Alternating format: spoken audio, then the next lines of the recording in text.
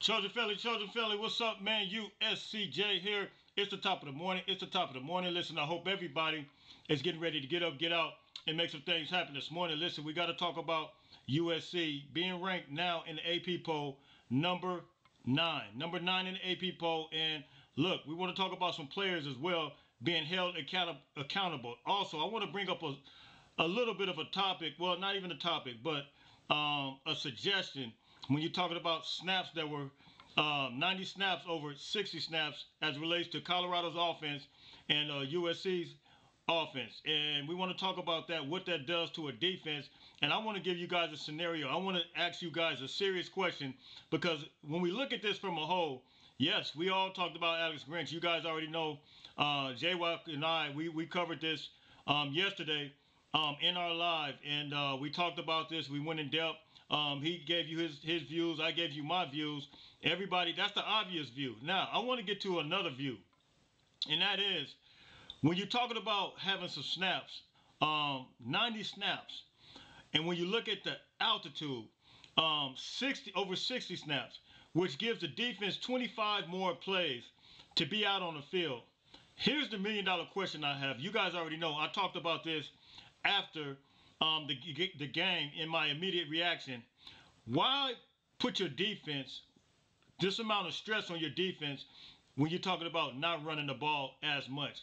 I understand, trust me, I really understand the point of view of keeping Caleb's numbers up there. I want to keep his numbers up there. I want him to be the whatever it is since 1948, second man uh, to win the Heisman Trophy. I guess since Archie Griffin. I, I, I think uh, I think that's when it was. Um, it's, it's been a long, long time. Um, it's, it's a rare thing that happens. It never happens. Um, and Caleb is, I think he has a good shot, good opportunity. But then at, at what risk?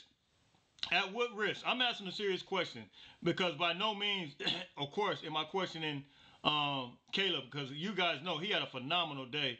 Um, he's he's excellent, excellent like he always is. He he moves and grooves like he always does. But then at some point, as the head coach, I want to ask a serious question. Do you think we need to take control of the clock, of the running game, and, and try to um, keep our players if we know that the altitude is crazy? I mean, to me, it's like you saw our defense getting tired, right? We saw them wearing down. And I don't believe it's because Colorado overpowered us. I simply believe it's because of, um, okay, one can question the scheme, but then the other aspect of it uh, is that a lot of guys don't think about is they're running the quick tempo, RPO, whatever offense, uh, uh, mesh plays or whatever, and they, they're getting right up to the line. Our defense was getting absolutely gashed. And if our defense was getting gashed, and you know this is having a you know a, a big time effect, instead of trying to look at getting numbers, instead of getting a wow factor, why not why not run the ball and control the clock? That's the question I have. I need you guys to hit me in the comments. I need you guys to let me know. What are your thoughts? Um, do you think we did a good job on managing the clock? Because I always feel like this as well. A lot of the blame, it always goes on Alex Grinch. The whole country right now is talking about Alex Grinch. Okay, I'll give you that. but I want to look at another piece to this, and I want to know from you guys in the comment section, can some of that blame be split when you're talking about um, these guys being gassed. I told you guys, and uh, and I believe that these guys, the defensive line, did a phenomenal job. They did some of the, some great things. You still had Jamil Muhammad. You still had Solomon Byrd. You still had these guys that were still making sacks. They're still playing, and Bear Alexander, Kyon Barrs. I seen these guys rotating out. Um, I think they did a phenomenal job. But the level of stress that was put on that defense for constantly being on the field, am I blaming the offense? Absolutely not. But am I wondering about the play calling? Yes, I am. Because I want to know from you guys in the comment section, do you think it needs to be another approach um, when you're looking at it from that perspective? Especially given the environment that we were in. So you guys hit me in the comments on that. That that's one particular thing that I wanted to bring you. And also, I want to look at the AP poll and I want to listen to something that Bryson Shaw said. He is taking accountability. And shout out to Bryson Shaw. Um, I talked to I I not called him out, but I did say that talked about how he had those um, catches that were thrown on him. he took accountability for some of the things that took place on Saturday. And look, shout out to him for saying that. He even said, look, he said it's not on Coach Grinch. He said, Coach Grinch, and I've told you guys this plenty of times, but I, I know everybody, I, it's hard for me to defend. After what happened on Saturday, I can't defend it. I can't even say that Grinch is putting everybody in the right place, even though I know that um, at times he is. Because even as Bryson Shaw alluded to, he said that we're the ones that's missing tackles. We're the one that's being put in place. He said we can't put this on anybody. And I, I see the same thing at times. I, I see that um, sometimes that guys are, are in the place, but they're not tackling. And that, that means if you're in the, if you're missing a guy, if you're not tackling the guy, that means that you're in the right place. Um, however, there were some questionable times when you seen that big gaping hole with Shedeur Sanders, uh, who is not that not that fast. And there was somebody that hit me in the comments and said, Jay, Shedeur runs about a 4-6, and I seriously doubt that. You guys already know Jaywalk was on here, said he suggested he may probably run about a 4-8. That's not just saying that you're slow, but that's just saying that you're not going to be one of the fastest guys at a 4-6 or 4-5 running in the 40. And that whole, it, it, that thing really just kind of, it was so big to where a guy that runs a 4-8 possibly, um, and, and, this is look, whoever hears this is no knock on Shedeur. That dude is an NFL star. He's an NFL quarterback. He can get the ball. He can put the ball. In fact, when I went back and looked at it, the ball that he placed between Calen Bullock and Bryson Shaw, um, that ball was placed perfectly. I mean, I don't even know how those guys. I mean, it, it was absolutely put per, placed perfectly. But uh, but he's just not a guy that's just gonna slice you up in the running. But the hole was so big. That was a question to my point. That was a very, very, very questionable call. I don't know what defense that was that was called at that time. So to that point, that's an Alex Grinch issue. I don't. I mean, that was the biggest hole that I've ever seen ever. I mean, it, you just couldn't even see players on the left or the right. All you could see is field in the end zone. And so to me, that was a, a, a, terrible defensive call when I look at it from that perspective. So I, I, really try to put all the pieces into play. I put all the pieces together. Um, I don't put I don't I look at this thing from a, a, the proper lens. I don't listen to outside influences. I create my own inf- uh, influence and my own thoughts and generate my own ideas and my own thoughts and I put it all together and I come up with what I see, which is I see issues on on the defense as that's causing issues. Uh, well, I see issues on the uh, the play calling that's causing issues on the defense. Um, is, is that to say that the defense is called right? No, but I just think that it can be controlled a little bit better if you know we have issues. If you want to save your friend, and let me say it like that, um, from getting some of the criticism, which is Alex Grinch, save some of the criticism by establish keeping your defense off the field so that we won't have to hear this from the media. Because right now, you guys already know I've been one of the biggest supporters of USC football, and I still am one of the biggest supporters of this defense, and I still am because I believe in each and every one of these guys on the field. I, I, still do, and I believe I still believe in, believe it or not, I believe in Alex Grinch the same way as Bryson Shaw. But I believe this thing got to come together some way somehow. Even if you got to somewhat change the scheme, um, or, or different plays. I mean, you got we got Greg Brown there. Somebody has to make some type of. They have to implement some type of uh, uh, different play calling, different scheme at different times to make this thing effective because we got some guys that are coming up. We got Notre Dame coming up. We got Utah coming up, which I'm not really concerned about. They're at home. We got Washington coming up, which I'm really not even concerned about them when you look at what they did against Arizona yesterday.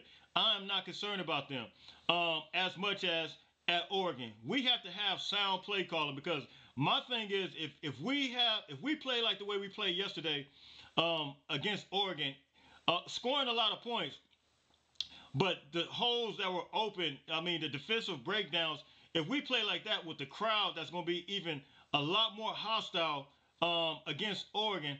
We can be absolutely lost in the sauce. And that alone right there makes me makes me uh, terrified. So look, man, you guys hit me in the comments. I'm gonna take a look so, real quick at some of this AP poll stuff, man. And uh, you guys hit me in the comments and you guys tell me what you think. But let's real quick before we look at the AP poll, I want you guys to uh, listen to some things real quick that Bryson Shaw had to say. Let's take a look at that real quick. Let's go. Here is the AP poll, and I, I decided to do this first, and then we'll get into the Bryson Shaw situation. But the, the, the AP poll is absolutely, um, I believe, lost in the sauce. I don't care um, how our defense performed. Yes, we performed bad, but but look at some other teams. I, I need you guys to really understand what's taking place. Of course, Georgia, they, they're going to continue to have them at number one. And you look at they lost. They almost. I was watching that game. They almost lost against Auburn. It was very very close. They lost by seven points. Uh, excuse me. They won by seven points. Georgia wins by seven points, and they still get to be at number one. They yet to have any type of drop um, in the poll. I mean, it just continues to. And then you look at Michigan number two, uh, Texas number three. I have no problem with those. Ohio State four. Um, I have no problem with that. And then Florida State, they're, they're suspect because when they played Boston College at Boston College, uh, Boston College, excuse me for my screen, Boston College, who really isn't that good of a, a team, um, they struggle with them. But Florida State continues to stay around. You know, they had them ranked as high as number three, I believe, number three or four, and they still continue to be within the top five. Um, you know, Penn State, they, they blew out yesterday. They blew out Northwestern. But then you come down here to Washington. Washington played or Arizona Arizona yesterday, uh, and they won by seven points, 31 to 24. So I mean, you guys hit me in the comments. Why does Washington get the love? We played an away game as well. Um, we won. We lost by eight points. I don't care. You can say whatever you want to say about the defense, but at the end of the day, there is a certain bias because you look at here. Uh, they got Oregon number eight. And then you got USC number nine. Uh, and then you're going to have Notre Dame number 10. And then number 11, number uh, Alabama, Oklahoma 12, Washington State 13. Uh, 14 is going to be North Carolina. 15, Oregon State. And then you're going to have Ole Miss uh, 16. 17, Miami. Utah 18. Duke 19. Kentucky 20. 21, Missouri. And then 22 is going to be Tennessee, which is, I mean, they got blown out by. They got to have all the. It's amazing because now when you look at it, they got the SEC has the most teams in there now, and that's because that's because they they still want to. You you telling me that LSU? Look at Tennessee number 22. LSU has two losses on their schedule now. They lost against Ole Miss. They lost against Florida State. And now LSU gets an opportunity to still be in the top 25? Are you serious? There's there's other teams that can be um, that can compete at this level and be a top 25 team. And why is LSU still get the opportunity to be in there? I, I mean, this is really, I mean, this just shows you how biased the situation is with the AP. It's crazy. Uh, Fresno State 24 and then Louisville 25, man. So, man, you guys can hit me in the comments. You can give me your thoughts on this AP poll. I think it absolutely sucks. I don't care if we if we won by eight points or not at Colorado. Colorado did go in there and beat TCU, uh, which TCU still look. TCU is a Power Five school. I didn't think. Look, I thought we were gonna blow Colorado out, but it, it didn't happen. But at the end of the day, we still beat them on their field. And um, you know, TCU is a three and two team, and it's not like they're just they're just a team. And they did play in the national championship last year. So you know, I mean, look, we can say whatever we want to say about it. Um, I, I, think that this thing is really beyond bias right now, and they continue to move and grow. But as I told you guys, and I stated this before, USC has to go above and beyond. They have to go way more than anybody else in order.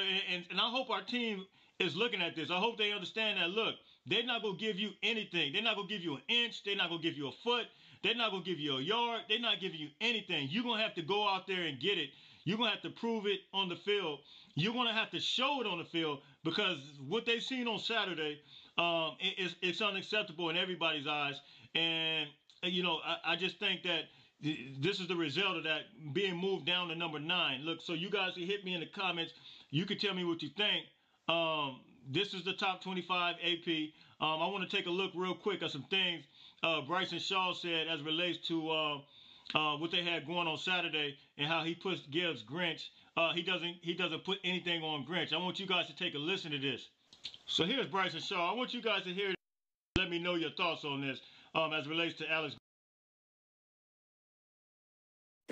Yeah, uh, we played hard, but definitely not to our standard. Uh, but uh, you know, we can learn from this. We need to learn from this. We need to fix it. But unacceptable, unacceptable individually and as a unit, and um, we'll go back to the film, watch it, and we'll get it fixed, and uh, we need to get it fixed. It's, it's embarrassing. What specifically do you, do you think you guys need to get fixed? I mean, just everything. But you know, Coach Grinch, is- is- he's doing a great job. I mean, we're letting them down. That's that's point blank. Period. We're letting them down. Like I don't know what to tell you. We're, as players, we're letting them down. I mean, he's putting us in the right spot. We're not making plays. We're missing tackles. We're not doing our job. I'm not doing my job. We're letting them down. We're letting him down. Bryson, what did Colorado do differently in the second half that gave them some success? Yeah, I mean, credit to them. They did, they did a good job, but uh, we just got to do our job. You know, we just got to execute the call. We didn't execute the call. You know, the times are lazy getting lined up.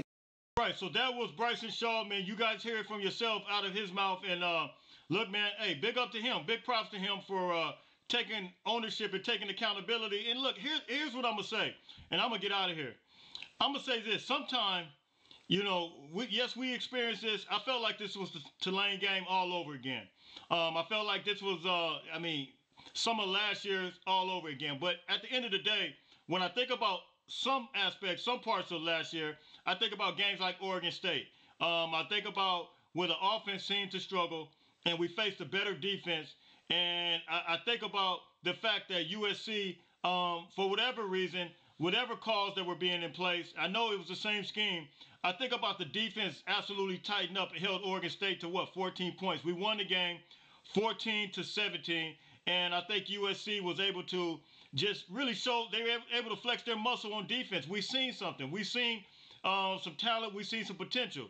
And we also seen it last year during the Notre Dame game. Um, when that, the running back that they have now, um, Estime, we absolutely held him to, I believe, 95 yards last year. Um, we got to ask ourselves this why were we able to do that? What about the scheme? What about the execution? Were we able to do that? Um, why did it happen? And so I'm saying to myself this I got some positive things that I could take away from this. And the positive is this that if we could do it in those games last year, um, if we could do it in, because I think, if I'm not mistaken, I'm trying to remember, uh, we came off an Arizona game, which was absolutely wild. Let me look at the schedule. We came off an Arizona game, I believe, that was uh, absolutely just wild. And I believe we played Utah, um, uh, uh, Oregon State. Let me let me see. Let me see. USC versus Oregon State. And this was last year. Now I'm trying to. We won 17 to 14, but I'm trying to remember what game was before that. Uh, it was the Fresno State game, and then we played Arizona State. Well, we we gave up 28 points last year to Stanford, then Fresno State 17, and then Oregon State. So, and, and last year that Fresno State was actually a pretty decent team.